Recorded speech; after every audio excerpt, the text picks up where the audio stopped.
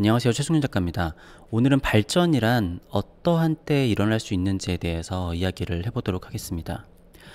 우리가 그런 얘기를 많이 해요.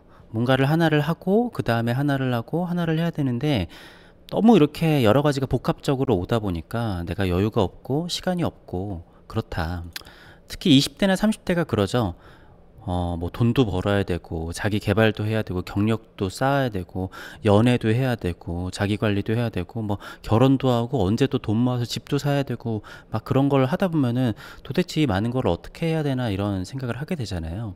물론 되게 어려운 일이기는 한데 어, 우리가 역사들을 봤었을 때 이 사회도 하나의 인간이라고 하면은 가장 발전할 발전을 했던 때가 어떤 때이냐 를 보면은요. 이게 바로 전쟁이 일어났을 때입니다. 게다가 어, 우리가 1차 세계대전, 그 다음에 2차 세계대전이 일어났었을 때를 보면은 1차 세계대전 때 이미 너무나 많은 사람들이 죽었기 때문에 젊은 남자들, 젊은 사람들이 굉장히 부족했었고, 그게 채 뭔가 이렇게 회복이 되기도 전에 2차 세계대전이 일어나서 또 엄청나게 많은 사람들이 죽었잖아요. 근데 아이러니하게도 그때 인류가 가장 비약적인 발전을 했습니다. 물론 지금 보면은 어, 지금 여러 가지 더 발전되는 것들이 있기는 하죠. 근데 아주 큰 카테고리로 보면은 우리는 2차, 1, 2차 세계대전 이후에 생겨났었던 일들로 인해서 지금도 발전하고 있다라고 보는 게 맞을 것 같습니다. 대표적으로 그때 비행기 그리고 자동차가 굉장히 활성화가 됐었죠. 그리고 그때 핵실험도 하게 되고 어, 뭐 여러 가지 사실 뭐 독일에서 그때 개발했었던 것들을 보면은 그 단기간에 어떻게 이렇게까지 개발을 했나 싶을 정도예요. 그리고 그것에 탄력을 받아서 미국하고 소련하고 냉전 시대에는 달에 달에 사람을 보낼 정도까지 어, 굉장한 기술의 발전이 일어납니다. 근데 아이러니하게도 물론 다른 기술의 발전들은 있었지만 달에 사람을 보내는 그런 기술은 아직까지 몇십 년이 지나도록 발전이 일어나지는 않고 있어요. 자, 근데 이렇게 생각해 볼 수는 있습니다. 실제로 지금 사람을 달에 못 보내는 게 아니잖아요. 사람을 지금도 달에 보낼 수가 있습니다. 근데 굳이 보낼 이유가 없어서 안 보내는 거죠. 그러니까 닐 암스트롱이 달에 갔었을 때는 진짜 미국에서 엄청난 역량을 쏟아 부어야지만 달에 갈 수 있었고 지금은 사실 그만큼은 아닌 역량을 쏟아 부어도 사람을 보낼 수 있지만 보낼 명분이 없는 겁니다.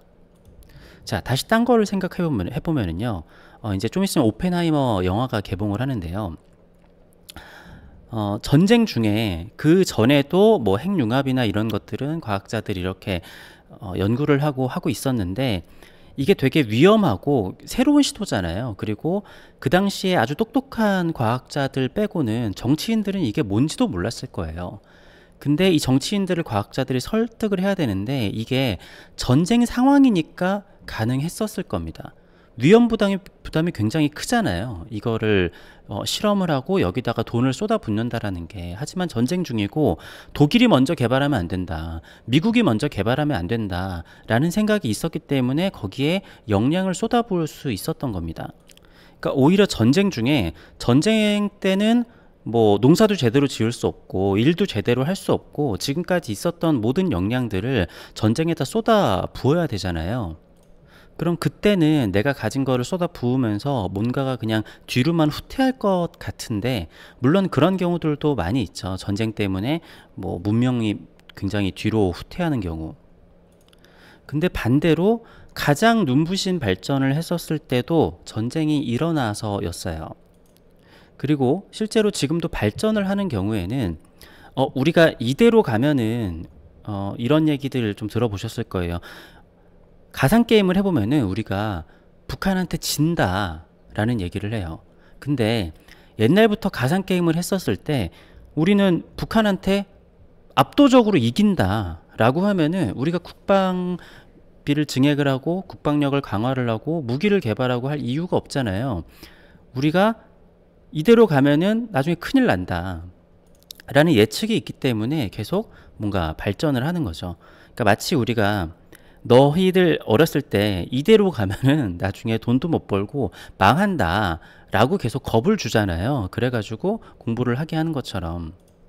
그래서 뭐 우리나라 같은 경우에도 성공 신화를 쓴 사람들을 보면은 모든 게 갖춰진 게 아니고 우리나라 국력도 굉장히 낮고 뭐 갖춰지거나 뭐 인프라도 전혀 없고 인지도도 없는 상태에서 막 뭔가를 이뤄낸 영웅 같은 사람들이 꽤 있잖아요. 물론 대부분의 사람들은 그런 상황에서 좌절을 하고 뭔가를 해내지 못하는 경우들이 많아요. 이 사람이 어, 타고난 능력이 있어야 되는 것도 있을 거고 운도 받쳐주기는 해야 될 텐데요.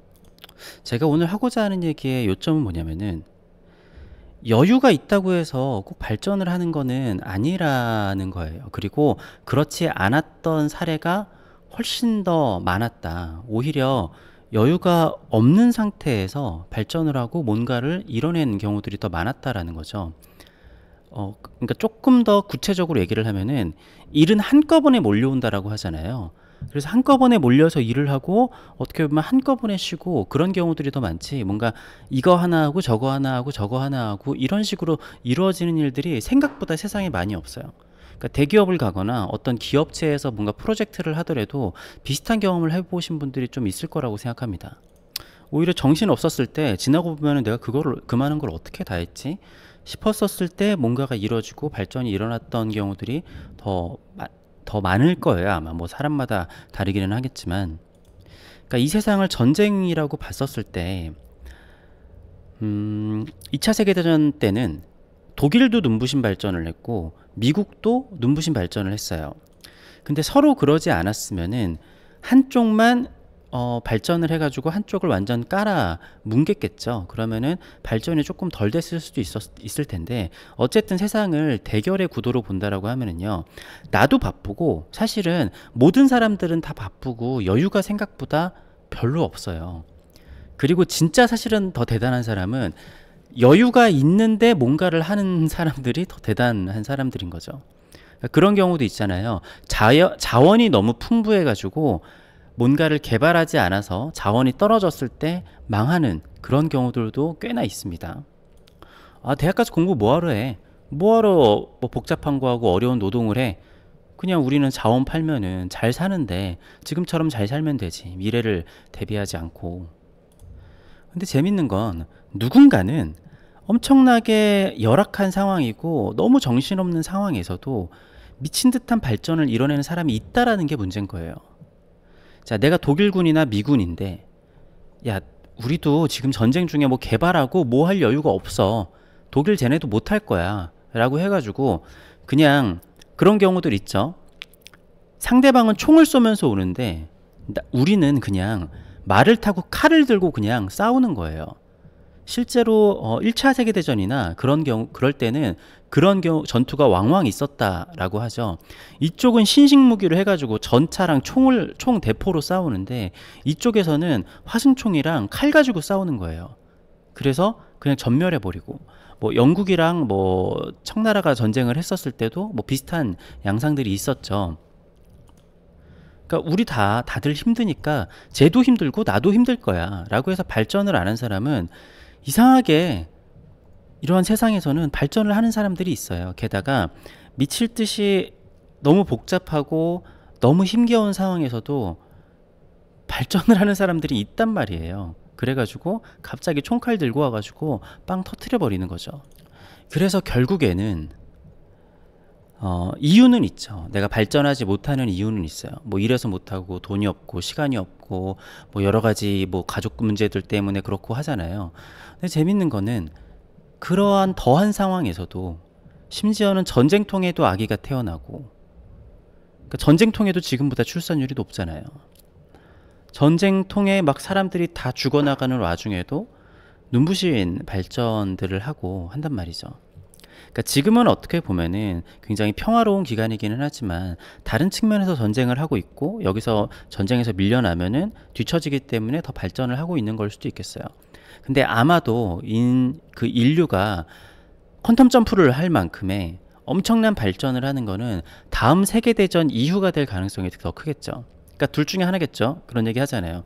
다음 세계대전 후에는 인류가 멸망을 하거나 아니면은 굉장히 눈부신 발전을 하거나 둘 중에 하나일 텐데 멸망을 하더라도 싸우는 중간에는 정말 우리가 상상할 수도 없을 정도로 발전된 무기들이 나올 겁니다. 그거는 아마 지금은 가능성 있고 연구만 하고 있는 아니면 가설만 세워진 상태일 텐데 그 전쟁 당시에는 그거 가설이더라도 일단 해봐라. 여러 가지 실험들을 팍팍팍 하게 될 거예요. 어, 다른 때는 뭐 환경 문제나 여러 가지 뭐 복지 문제나 이런 데다 썼던 돈들을 갑자기 그런 무기 개발하는데 다 써버리겠죠. 역량을 모아놓으면은 그 옛날에 반도체 하나 제대로 없었을 때도 달에다가 사람을 보냈잖아요. 그런 것처럼 사람의 역량을 어떻게 집중을 시키느냐에 따라서 그 발전이 달려 있는 거란 말이죠. 그러니까 또 그러면 그런 제 얘기를 오해하시면 안 되는 게 그러면 나는 그림을 그려야 되니까 그림에만 역량을 몰두하면 되는 게 돼야 될 텐데 근데 그 얘기가 아니라 전쟁 중에 여기 전선도 나가야 되지 여기 뭐 무기 개발도 해야 되지 사람들 교육도 시켜야 되지 정치적인 것도 해야 되지 여러 가지가 완전 과부하 상태인데 과부하 상태에 여기 여기 여기다가 역량을 집중을 하는데 생각보다 어 이게 되네 싶다라는 거예요. 그러니까 내가 평소에 했었던 거에 두 배, 세 배의 역량들을 갑자기 끌어내 가지고 뭔가를 하는 게 그런 전쟁 상황이잖아요. 그러니까 그러한 시기가 있다란 얘기인 거예요. 그리고 의외로 사람이 살면서 그러한 시기에 여러 가지 일들을 해내면서 발전을 하는 사람들이 꽤 많다는 거죠. 그리고 얄밉게도 그런 거를 해내는 사람들이 있다. 네, 내가 이거를 경쟁을 한다라고 하면은 그런 사람이 있는데 어떻게 해요? 그러면은 그 사람보다 내가 뒤처지게 되는 경쟁 사회인 거니까. 네, 아무튼 오늘은 오펜하이머의 핵전쟁 그 얘기를 보다가 사람은 어떤 때 발전을 하느냐에 대해서 생각을 해봤습니다. 감사합니다.